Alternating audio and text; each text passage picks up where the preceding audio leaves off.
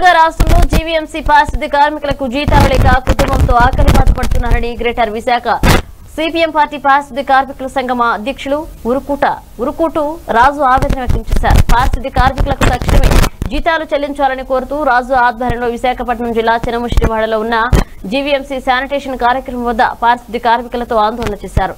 సందర్భంగా ఊరుకోటి రాజు మాట్లాడుతూ గత మూడు నెలలుగా రాష్ట్ర ప్రభుత్వం పారిశుద్ధ్య కార్మికులకు జీతాలు చెల్లించలేదని అన్నారు.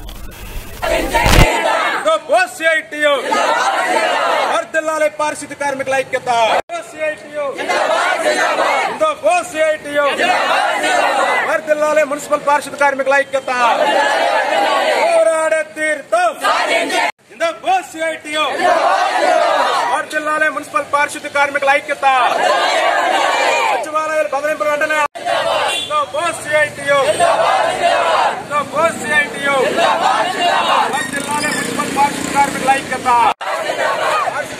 సచివాలయాలు వెంటనే ఆపాలి ఆత్మహత్యనే కొనసాగాలి పారిశుద్ధ కార్మికులు చాలా తక్కువ మంది ఉన్నారు. వార్డు విస్తీర్ణం చాలా పెద్దది. కానీ ఇన్స్పెక్టర్ గారు సడన్గా కార్మికులందరూ కూడా సచివాలయాలు పదహారు సచివాలయాలు ఉన్నాయి. సచివాలయంగా ఐదు చొప్పున వెళ్ళండి అని చెప్పేసి చాలా ఇబ్బంది పెడుతున్నాడు. మేము ఒకటే అడుగుతున్నాం. అయ్యా సాలిడ్ వేస్ట్ మేనేజ్మెంట్ ప్రకారంగా మైక్రో ప్యాకెట్ నలుగురు ఉండాలి. కానీ నలుగురు కూడా లేరు. వర్కర్లు తక్కువ కాబట్టి ఇద్దరే పనిచేస్తున్నారు. ఆ ఇద్దరులో మళ్ళీ పది మంది చేసే పని ఒక సచివాలయానికి ఐదుగురు చేసి చేయమంటే ఎలా చేస్తారు? ఒత్తిడి కార్మికులకు ఒత్తిడి పెరుగుతుంది. ఒత్తిడి పెరిగి మానసికంగా చాలా వ్యాధి ఈ, మనోక్షాపకు గురవుతున్నారు. ఒకవేళ పొరపాటున ఒత్తిడి పెరిగి కార్మికులు ఏమైనా అయితే దానికి ఇవ్వటం తక్షణమే కార్మికులు పెంచుకోండి.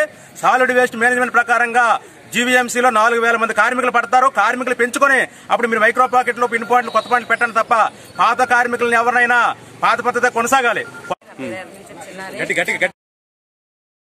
ఇప్పుడు పది మంది చేసిన పని ఐదు మంది సచివాలయం అప్పచెప్పేసి ఆ సచివాలయం సెక్రటరీలకు అయితే మాత్రం అసలు పని ఎలాగ అయితే అవుతుందో అసలు ఎంత నుంచి ఎంత వరకు పని చేయగలరో అయితే మాత్రం తెలియదండి.